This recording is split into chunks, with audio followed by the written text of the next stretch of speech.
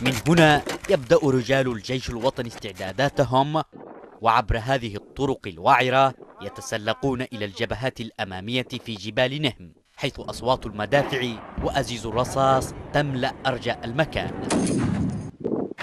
تشتد المعارك وتتمكن قوة الجيش الوطني المسنودة بالمقاومة من إحراز تقدم يجعلها أكثر قربا من مركز مديرية نهم ومن الطريق الواصل بين العاصمة صنعاء ومحافظة مأرب. لقد قمنا اليوم المقاومة الشعبية والجيش الوطني بتحرير حليب حليب نهم والكحل والبياض ومدفون والآن إحنا في طلعه السناني بادي عليه محلي ويتبقى من الزفلت معنا كيلو لحتى نقطعه ومواصلين مسيرنا إلى صنعاء إن شاء الله.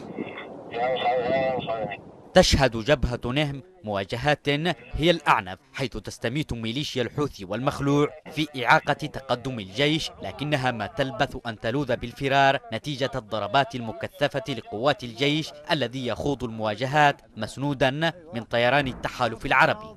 يوم بعد آخر يتقدم الجيش الوطني في جبهة هي الأشد وعورة وتعقيدا في تضاريسها.